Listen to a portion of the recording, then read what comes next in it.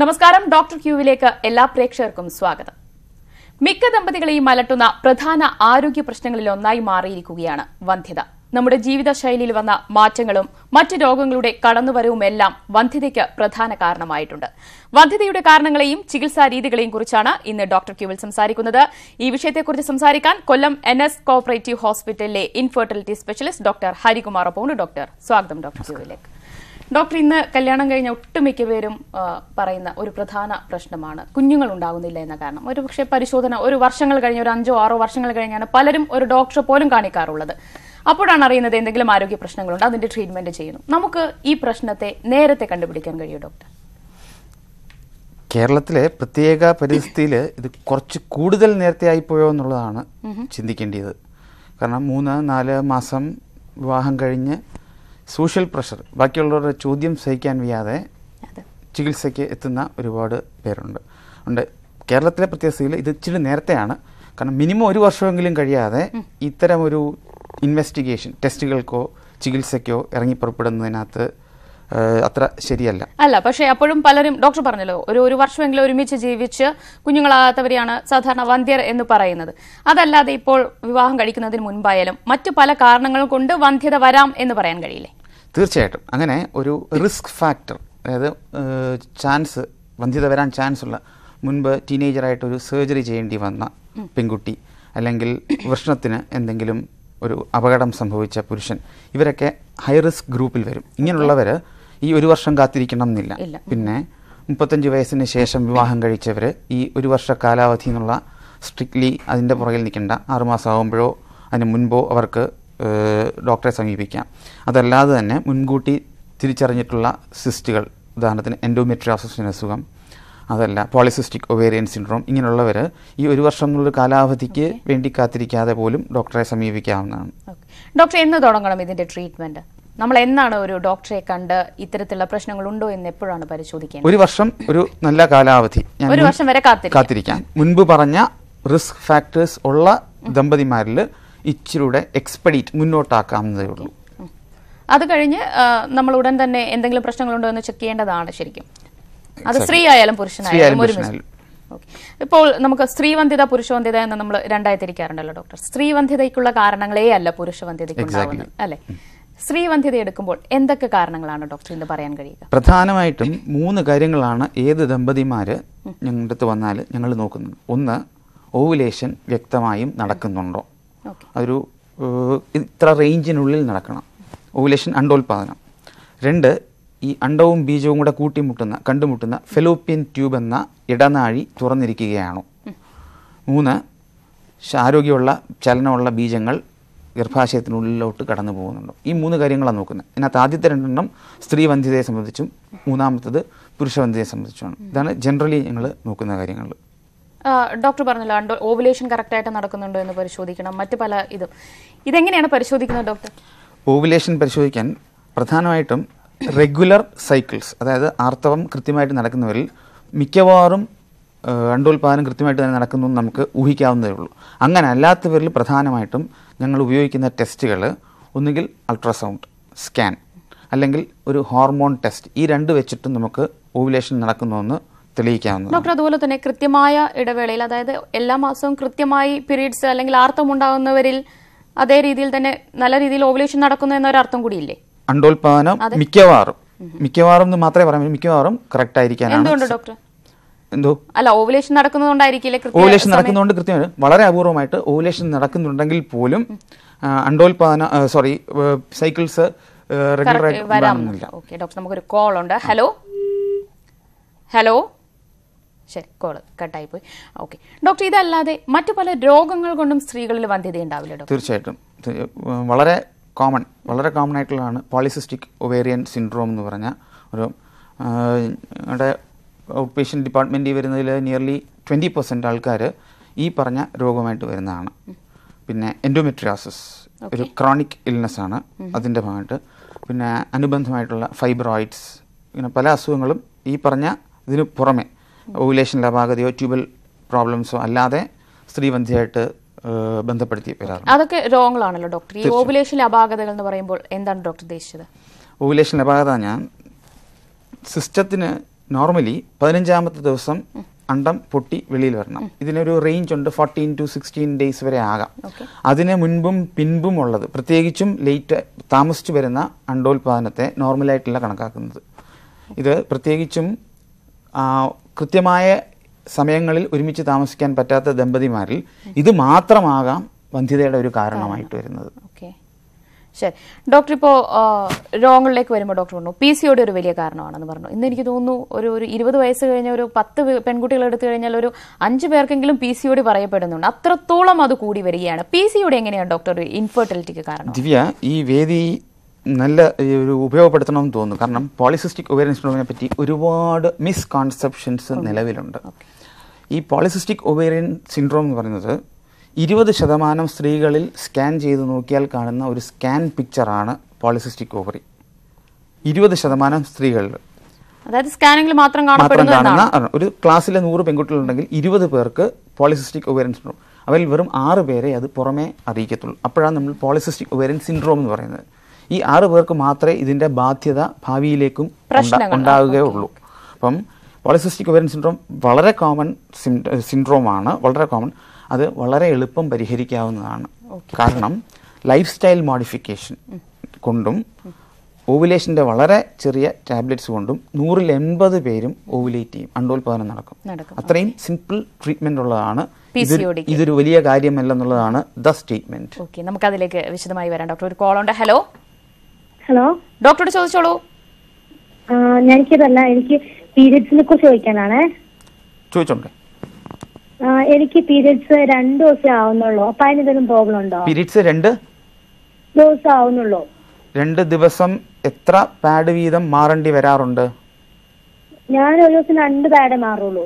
രണ്ട് പാഡ് വീതം രണ്ട് ദിവസം ഇത്തിരി ഒന്ന് പുറകോട്ടെന്ന് വേണം. കൃത്യമായ ഇടവേളകളിൽ വരുന്നുണ്ടോ? ആ എനിക്ക് അങ്ങനെയല്ല എനിക്ക് കറക്റ്റ് എല്ലാ മാസവും ആവുന്നുണ്ട്. ഇരുപത്തെട്ടാലി ആ കറക്റ്റ് മാസം ആവുന്നുണ്ട്. എത്ര വയസ്സുകാരിയാണ്? എനിക്കിപ്പോ പത്തൊമ്പത് ഈ പത്തൊമ്പത് വയസ്സായി. ഇതൊരു വലിയ പ്രയാസമുണ്ട കാര്യമാണെന്ന് തോന്നുന്നില്ല. എന്നാലും. തൈറോയിഡ് സ്റ്റേറ്റസ് തൈറോയിഡ് ഹോർമോണിന്റെ അളവെങ്കിലും ചെക്ക് ചെയ്യുന്നത് നല്ലതായിരിക്കും. കൃത്യമായിട്ട് വരുന്നുണ്ടെങ്കിൽ മിക്കവാറും ഇതിന്റെ പേരിൽ വേറെ ഭവിഷ്യത്തുകളൊന്നും ഉണ്ടാവും തോന്നുന്നില്ല. തൈറോയിഡിന്റെ അളവ് അറിയുന്നത് നല്ലതായിരിക്കും. ശരി. ഡോക്ടർ ഈ പി സി എന്ന് പറഞ്ഞ ചെറിയ ചെറിയ രൂപത്തിലുള്ള മുഴകൾ അല്ലെങ്കിൽ സിസ്റ്റുകൾ എന്നാണല്ലോ പറയുന്നത്. ഇത് എങ്ങനെയാണ് കുഞ്ഞുങ്ങളാകാത്ത ഒരു സിറ്റുവേഷൻ അല്ലെങ്കിൽ വന്ധ്യതയ്ക്ക് എങ്ങനെയാണ് കാരണമാകുന്നത്? വളരെ നല്ല ചോദ്യം. ഇതിലോട്ട് വരണം തന്നെയായിരുന്നു. ഇത് സിസ്റ്റ് എന്ന വാക്ക് തന്നെ ഇറ്റ്സ് എ മിസ് നോമർ അവിടെ ഒരു സിസ്റ്റ് ഇല്ല. സിസ്റ്റ് ഇല്ല. ഇല്ല. അതായത് ഓവറിയിൽ അണ്ടാശയത്തിൽ പെൺകുഞ്ഞ് ജനിക്കുമ്പോൾ തൊട്ടേ ഫോളിക്കിൾസ് ഈ ഫോളിക്കിളിനകത്താണ് ഇമ്മച്ചുവർ എഗ് ഇരിക്കുന്നത്. ഇത് നോർമലി ഉള്ളതാണ്. ഈ ഇതിനകത്ത് ഒരെണ്ണം ഒരു മാസത്തിൽ വളർന്ന് വലുതായി പൊട്ടി എഗ് വെളി വരണം. ഇതാണ് നോർമലി നടക്കേണ്ടത്. ഇതിന് പകരം ഈ പോളിസിസ്റ്റിക് ഓവറിയൻ സിൻഡ്രോം ഉള്ള സ്ത്രീകളിൽ പെൺകുട്ടികളിൽ ഈ ഫോളിക്കിൾസ് നോർമലി ഉണ്ടാകേണ്ട ഫോളിക്കിൾസ് ഒന്നും വളരുന്നില്ല. അപ്പോൾ എപ്പോൾ സ്കാൻ ചെയ്ത് നോക്കിയാലും ബാക്ക്ഗ്രൗണ്ടിൽ ഒരുപാടധികം ഫോളിക്കിൾസ് ഇപ്പം തന്നെ ഞാൻ ഇതുവരെ സിസ്റ്റം എന്ന വാക്കേ ഉപയോഗിച്ചില്ല. സിസ്റ്റം അല്ല ഫോളിക്കിൾസ് നോർമലി അവിടെ ഉണ്ടാകേണ്ടവയാണ്. ഞങ്ങൾ എപ്പോഴും പറയുന്ന ഉദാഹരണം ബാങ്കിൽ ധാരാളം പൈസയുണ്ട്. ഉപയോഗിക്കാൻ പറ്റുന്നില്ല. പാസ്ബുക്ക് നമ്മുടെ കയ്യിൽ ഇല്ലാന്നേ ഉള്ളൂ. ഫോളിക്കിൾസിന്റെ ഇല്ലായ്മയല്ല. ധാരാളം ഫോളിക്കിൾസ് ഉണ്ട്. അത് മര്യാദയ്ക്ക് ഉപയോഗപ്പെടുത്തിയാൽ മതി. അതുകൊണ്ടാണ് ഇതൊരു വലിയ അസുഖമല്ല എന്ന് പറയുന്നത്. പക്ഷെ അതെന്തുകൊണ്ട് ഉപയോഗപ്പെടുത്താൻ ആകാതെ വരുന്നു? അത് ഹോർമോൺ അവിടെയും ഞാനൊരു ഉദാഹരണം ഉപയോഗിക്കുന്നതായിരിക്കും നല്ലത്. ഈ ഫോളിക്കിൾസ് നനഞ്ഞ പടക്കം പോലെ. പടക്കം പൊട്ടിക്കാൻ നനഞ്ഞ പറ്റത്തില്ല. അപ്പൊ പിന്നെ എന്താ ചെയ്യാൻ പറ്റുന്നത് ഈ നനവ് ആൻഡ്രോജൻ ഇൻസുലിൻ ഈ രണ്ട് ഹോർമോൺസ് ആണ് ഈ പടക്കത്തെ നനച്ചേക്കുന്നത്. ഈ ഫോളിക്കിൾ എന്ന് പറഞ്ഞ പടക്കത്തെ. അപ്പം കത്തിക്കണമെങ്കിൽ നമുക്ക് എന്താ ചെയ്യാൻ പറ്റുന്നത് വെയിലത്ത് വെച്ച് ഉണക്കണം. ഈ ഇൻസുലിൻ ആൻഡ്രോജൻ ആ നനവ് പറ്റിച്ചാൽ നല്ല രീതിയിൽ പൊട്ടിക്കാം. ഫോളിക്കിൾസ് നല്ലോണം വളരും. അപ്പോൾ ഇൻസുലിൻ ആൻഡ്രോജൻ ആണ് അവിടെ പ്രശ്നക്കാർ? അവിടാണ് ഈ നനവ്.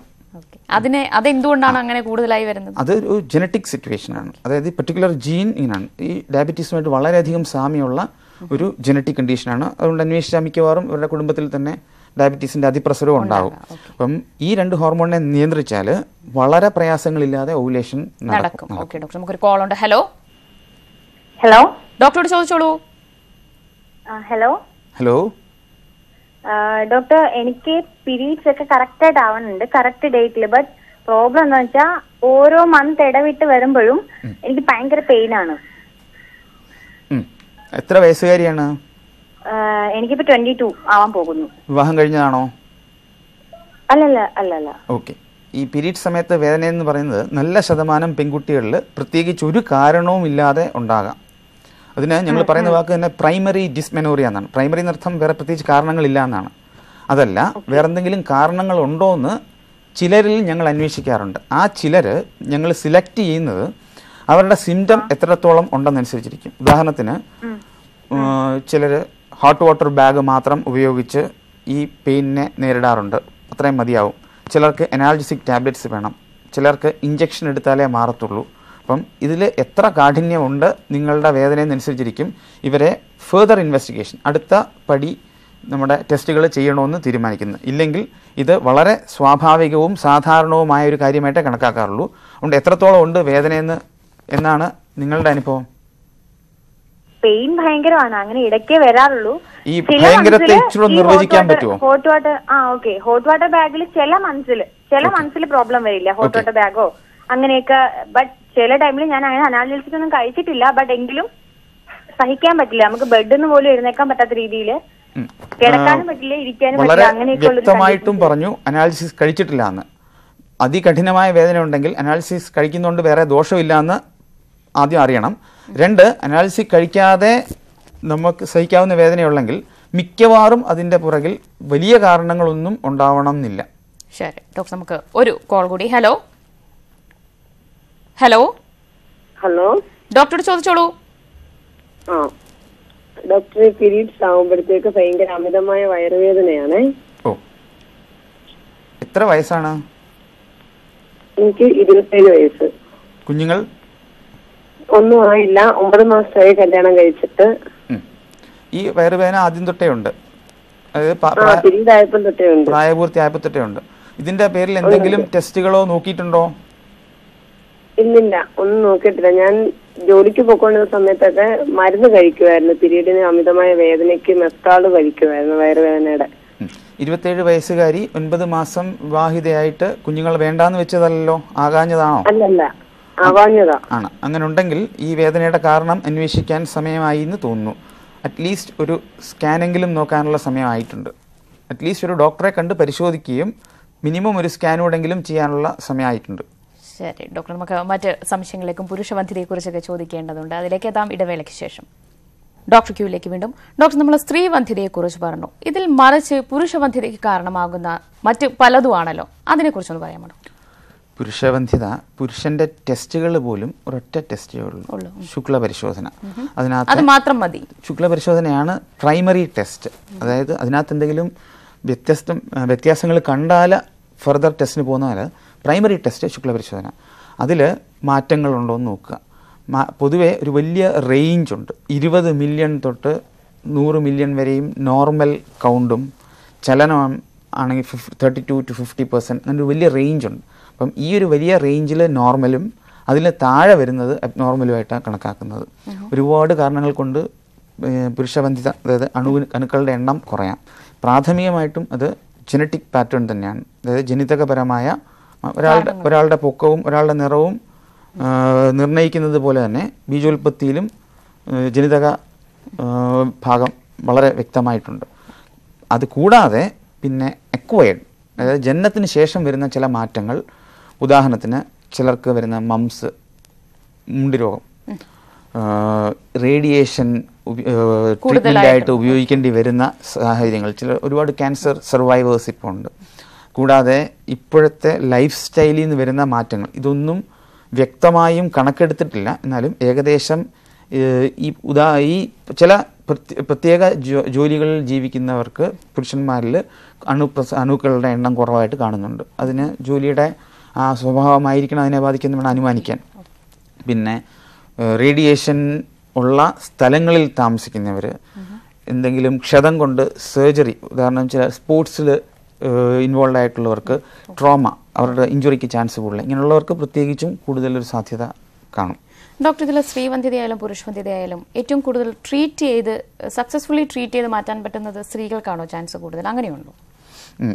കുഴയ്ക്കുന്ന ചോദ്യമാണ്. എന്നാലും പൊതുവെ സ്ത്രീബന്ധിതയെന്ന് നമ്മൾ അവകാശപ്പെടുന്ന അനുമാനിക്കുന്നതിൽ വലിയൊരു വിഭാഗം പോളിസിസ്റ്റിക് ഒവേറിയൻ സിൻഡ്രോം ആയതുകൊണ്ട് അവ വളരെ എളുപ്പം ചികിത്സിച്ച് മാറ്റാവുന്നതുകൊണ്ടും സ്ത്രീബന്ധിത ഇ- ഇത്തിരി കൂടെ എളുപ്പമാണെന്ന് എന്ന് വേണം പറയാൻ. എക്സെപ്റ്റ് ഒരൊറ്റ സിറ്റുവേഷനിൽ സ്ത്രീക്ക് പ്രായത്തിന്റെ ആധിക്യം കൊണ്ട് വരുന്ന വന്ധ്യത അത് ചികിത്സിച്ച് മാറ്റാൻ എളുപ്പമാണെന്നല്ല. ബുദ്ധിമുട്ടാണെന്ന് മാത്രം പ്രായം വലിയൊരു ഘടകമാണ് സ്ത്രീക്കായാലും പുരുഷനായാലും. പുരുഷൻ അത്രത്തോളം ഇല്ല. ഉദാഹരണത്തിന് പുരുഷന് എഴുപത് വയസ്സുകളിലും പ്രത്യുൽപാദനക്ഷമത നിലനിർത്താറുണ്ട്. പക്ഷെ വളരെ അടുത്ത് വന്നൊരു പഠനം അമ്പത് വയസ്സ് കഴിഞ്ഞ് വരുന്ന പുരുഷനിൽ ഉണ്ടാകുന്ന കുഞ്ഞുങ്ങളിൽ വൈകല്യങ്ങളുടെ സാധ്യത കൂടുതലാന്ന് പറയുന്നുണ്ട്. സ്ത്രീകളുടെ പ്രായം എപ്പോഴാണ് ഡോക്ടർ?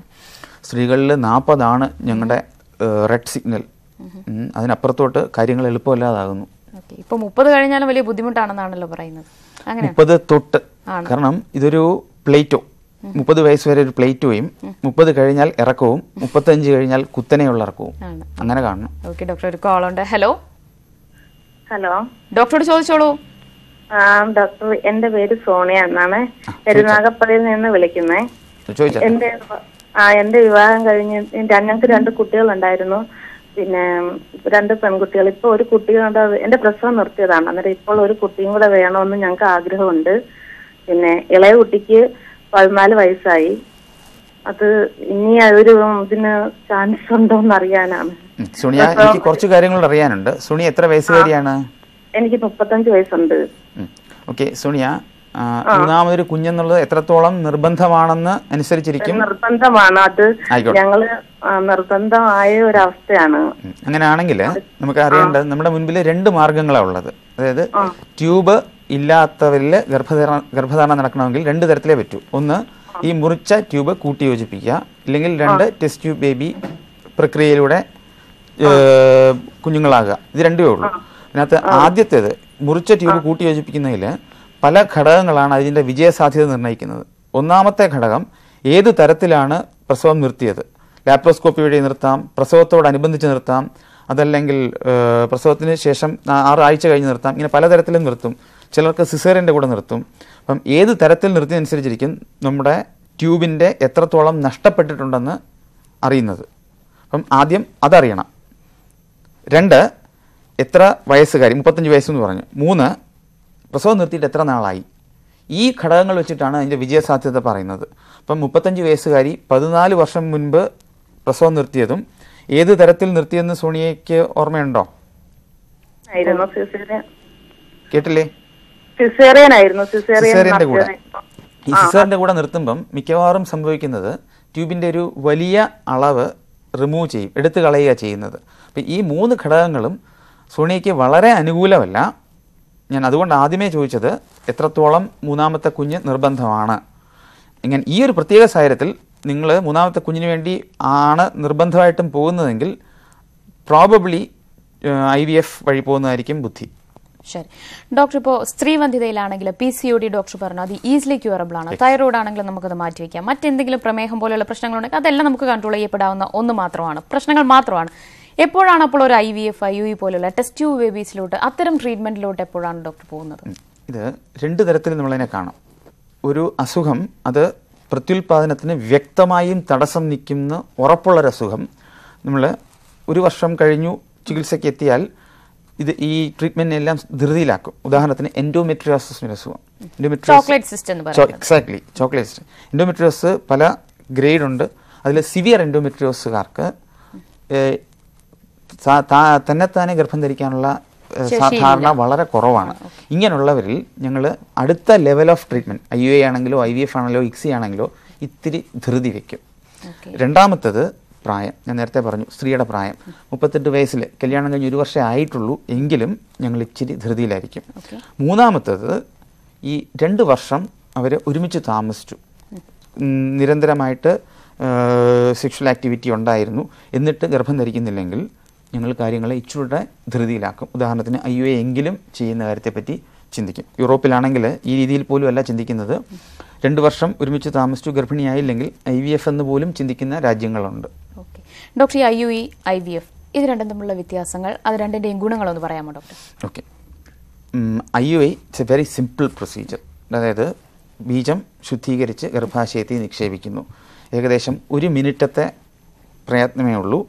അതിന്റെ ചിലവും ഏകദേശം ഡിപ്പെൻസ് ഓരോ സെന്ററിനായിരുന്നാലും ആയിരത്തഞ്ഞൂറ് തൊട്ട് രണ്ടായിരത്തഞ്ഞൂറ് തൊട്ട് മൂവായിരം വരെയുള്ള ഒരു റേഞ്ച് ഉണ്ടാവും. ഇതാണ് ഐ യു എയുടെ കാര്യം. ഐ വി എഫ് എന്ന പ്രക്രിയ എഗ്ഗും സ്പേമും പുറത്തെടുത്ത് ലാബിലെ കൾച്ചർ ഡിഷിൽ യോജിപ്പിച്ച് ആ ഭ്രൂണത്തെ ഇൻക്യുബേറ്ററിൽ ഇത് ഗർഭാശയത്തിന്റെ അതേ ചൂടും ചൂരും കൊടുത്ത് വളർത്തി തിരിച്ച് ഗർഭാശയത്തിൽ നിക്ഷേപിക്കുന്നതാണ് ഐ വി എഫ് ഇത് വളരെ പ്രയാസം പ്രയാസമേറിയ പ്രക്രിയയാണ്. അതിന് അതിന്റേതായ ഫെസിലിറ്റീസ് വേണം. ചെലവും വളരെയധികം കൂടുതലാണ്.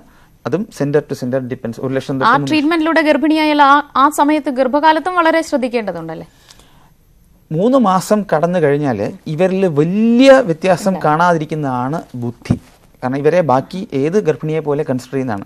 മൂന്ന് മാസം എന്ന് പറയാൻ കാര്യം ഏറ്റവും കൂടുതൽ പ്രഗ്നൻസി നഷ്ടപ്പെടുന്നത്. അല്ല സെൽ അതായത് നിയർലി നയന്റി ഫൈവ് പെർസെന്റ് തൊണ്ണൂറ്റഞ്ച് ശതമാനവും നഷ്ടപ്പെടുന്നത് ഈ മൂന്ന് മാസത്തിനുള്ളിലാണ് അപ്പോൾ ആ ഫിൽറ്ററിങ് കഴിഞ്ഞ് വരുന്ന സ്ത്രീകളെ അവരെ സാധാരണ ഗർഭിണിയായി കണക്കാക്കുന്നതായിരിക്കും അവർക്കും നല്ലത്. സമൂഹത്തിനും നല്ലത് എക്സെപ്റ്റ് ചില ചെറിയ പ്രശ്നങ്ങൾ ഇവരിൽ കൂടുതലായിട്ട് കാണുന്നു. പ്രത്യേകിച്ചും പ്രീ ടേം ഡെലിവറി മാസം തികയുന്നതിന് മുൻപ് പ്രസവിക്കാനുള്ള സാധ്യത ഇവരിൽ അല്പം അധികമാണ്. ഇത് കൂടുതലും വരുന്നത് ഒന്നിലധികം കുഞ്ഞുങ്ങളുള്ള സ്ത്രീകളിലാണ്.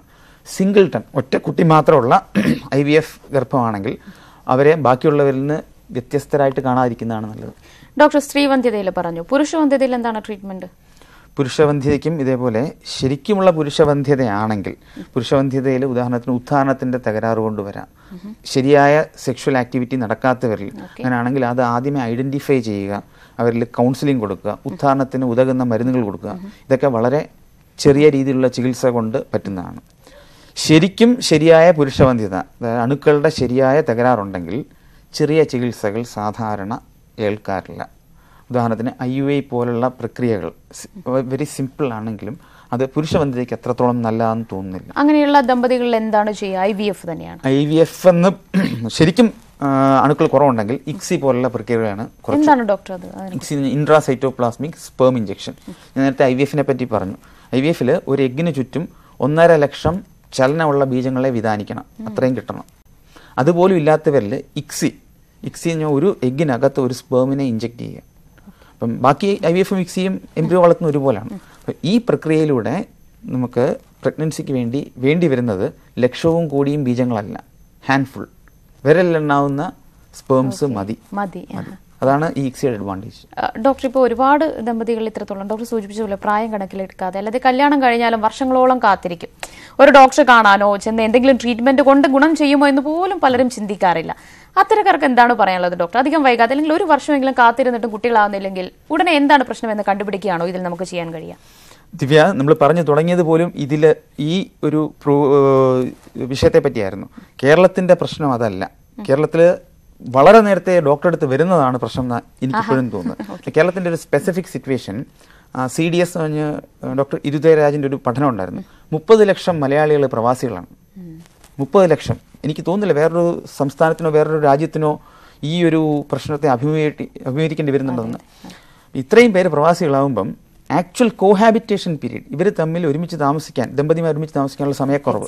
അപ്പം ശരിക്കും ഒരു ഇൻഫെർട്ടിലിറ്റി തന്നെ അതിനെ വിളിക്കാവൂന്ന് പോലും സംശയമുണ്ട്. തീർച്ചയായും ഞാൻ സമയക്കുറവുകൊണ്ടാണ് ഇടപെടുന്നത്. ഡോക്ടർ നമുക്ക് ഇതിന്റെ ട്രീറ്റ്മെന്റ് തന്നെ ഒരുപാട് പറയാണ്ടെന്ന് തോന്നുന്നു. നമ്മൾ ഐ വി എഫ് പറഞ്ഞില്ല ഐ യു വി പറഞ്ഞില്ല മറ്റു ട്രീറ്റ്മെന്റിലേക്ക് വന്നില്ല. എനിക്ക് ഡോക്ടർ ഒരു എപ്പിസോഡിൽ കൂടി കിട്ടുമെന്ന് പ്രതീക്ഷിക്കുകയാണ്. വളരെയധികം നന്ദി ഡോക്ടർ ഞങ്ങളുടെ അതിഥിയായി ഇന്നത്തെ ഡോക്ടർക്ക് ഇവിടെ പൂർണമാവുകയാണ്. വീണ്ടും കാണാം. നമസ്കാരം.